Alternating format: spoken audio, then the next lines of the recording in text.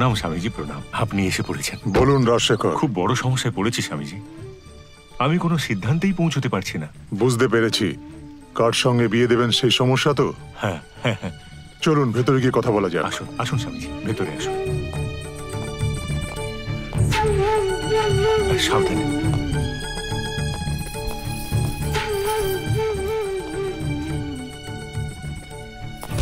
নমস্কার। ওম শান্তি। সবার মঙ্গল হোক। স্বামীজি আমি তো আমার অবস্থার কথা বলেছি আগে। এখন আমার কি সিদ্ধান্ত নেওয়া উচিত? এদেরকে আপনি স্বয়ং জানিয়ে দিন। তিনজন পাত্রের কুণ্ডলী নিয়ে আসুন। কার সঙ্গে বিয়ে দেওয়া উচিত সেটা আমি বলে দেব। শোন তোদের মেয়ের জন্মকুণ্ডলী তাড়াতাড়ি নিয়ে আয়। পা চালা পা চালা।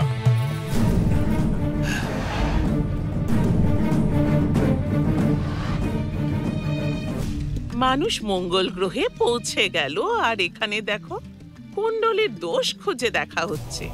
ওম শক্তি, নমো সূর্যায়, চন্দ্রায় বৃহস্পতিয়ায়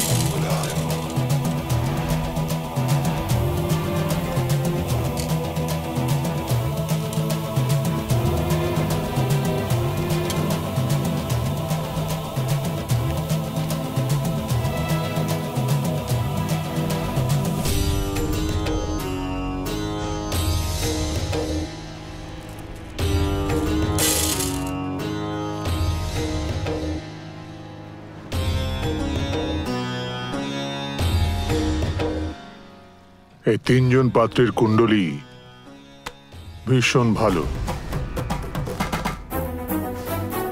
স্বামীজি এই বিষয়ে আমরা আলোচনা করেছিলাম যে একটা কাগজের টুকরোতে এদের নাম লিখে দেব কিন্তু আমরা কোনো সিদ্ধান্তে পৌঁছতে পারছিলাম না। ওই মেয়েটি একদম ঠিক বলেছে।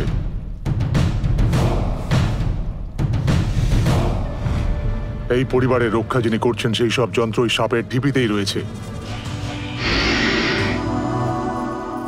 সবকিছুর সিদ্ধান্ত ওখানে গিয়েই করতে হবে। ওম কার্তিকায় নম। হে স্বামীনাথ, করুণাকর দীনবন্ধু। পার্বতী শমুখ পঙ্কজ পদ্মকুঞ্জ শীর্ষাদিদেব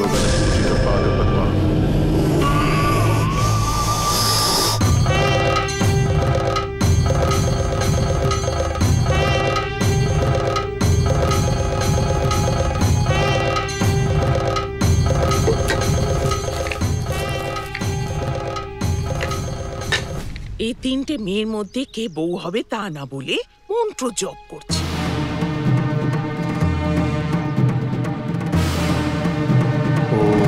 শ্রী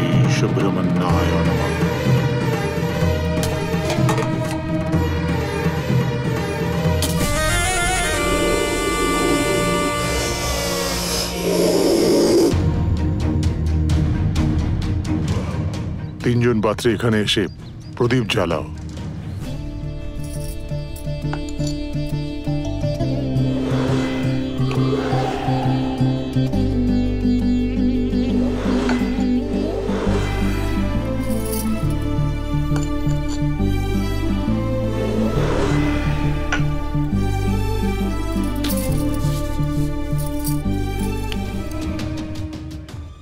ওই কৌটোতে তিনটি কাগজ রয়েছে। তার থেকে একটি কাগজ হাতে তুলে নাও।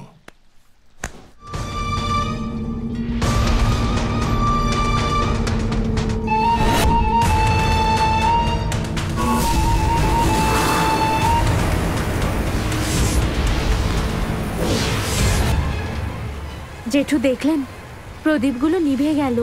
আরেকদিন অপেক্ষা করলে হয় না? জোরে হাওয়ার জন্য প্রদীপগুলো নিভে গেছে। এ তো সাধারণ ব্যাপার। এখন যদি লক্ষণ ঠিক নয় বলে কাজ সম্পূর্ণ না করা হয় এখনই তুই কাগজগুলো উঠিয়ে নিয়ে আয়।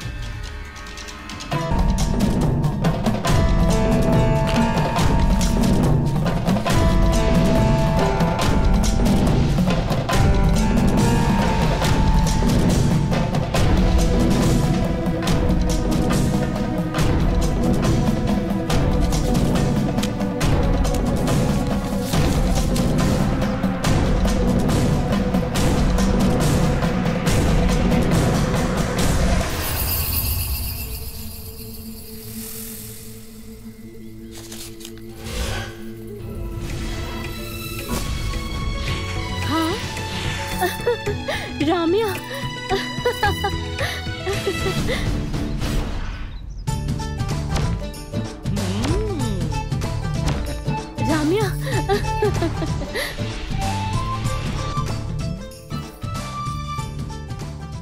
মাগো তোর নামই এসেছে। তোকেই আমার ঘরের পুত্রবধূ হিসেবে আসতে হবে। আমি খুব খুশি হয়েছি। কি দেখছ হাঁ করে? যাও আশীর্বাদ নিয়ে নাও। সুখে থাক রে মা। আমরা ভেবেছিলাম একরকম আর হলো আর এক রকম একটা কাগজের নাম লিখে আমাদের ভাগ্যই পাল্টে দিল। বাবা রামিয়ার নাম কাগজে এসেছে বলে দুশ্চিন্তা করো না। অরুণের জীবনে মায়াই থাকবে। আর এর মধ্যে যদি কেউ আসার চেষ্টা করে আমি তাকে জ্যান্ত পুঁতে ফেলব। তুমি চাপ নিও না দেখো আমি কি করি। এবার আমি খেলব। এই চল। চল এখান থেকে। রামিয়া দেবী মেয়েটি সুন্দরী তাই না? কথা বলো না। চলো। অরুণ তোর ভালো হবে। সবকিছু ভালো হবে বাবু। স্বামীজি আসো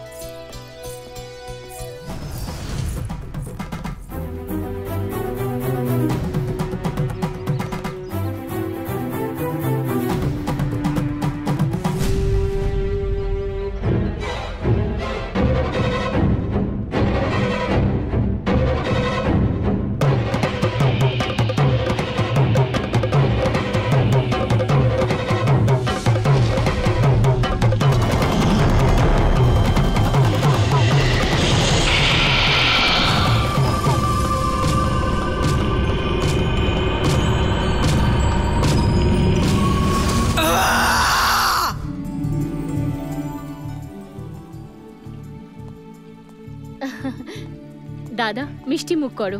কি হয়েছে বাবা? কার ফোন, হ্যাঁ? কি দেখছ? পাঁচ হয়ে আশীর্বাদ নাও রামিয়া। ঠিক আছে ঠিক আছে। আরে বলে দাও বলে দাও। যা সবাইকে দে। ঠিক আছে তো? হ্যাঁ বাবা আমি দেখছি। এই নাও মিষ্টি। না চাই না। তুমিও নাও। মায়া মিষ্টি নাও। হ্যাঁ, জানি বুঝতে পেরেছি। নাও। তুমিও নাও। একটা। থ্যাঙ্কস।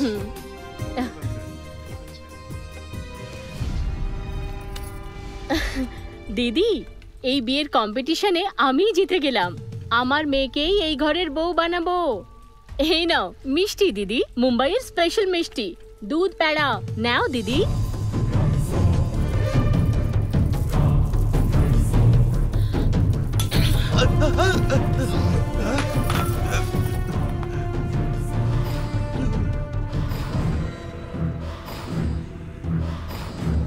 তোমার কি কোনো মান সম্মান বোধ নেই?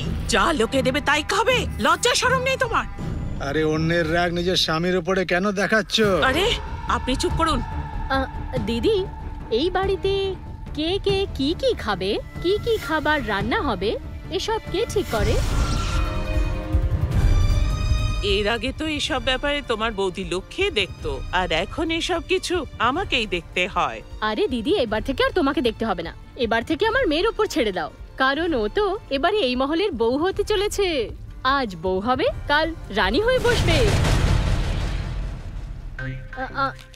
দিদি এই বাড়ির যে বউ হয়ে আসতে চলেছে তার জন্য পারিবারিক পরম্পরার সব গয়না ঠিক করে গুছিয়ে রেখেছো তো? সেসব কোথায় আছে দিদি? লকারে আছে। ওইসব বের করে ঝকঝক করে পালিশ করে রেখে দিও। আমার মেয়েকে ওইসব গয়না পরিয়ে আরও সুন্দরী করে তুলতে হবে। ওইসব গয়না পরে যোধা আকবর সিনেমার ঐশ্বরিয়া রায়ের মতন যেন দেখায় আমার মেয়েকে।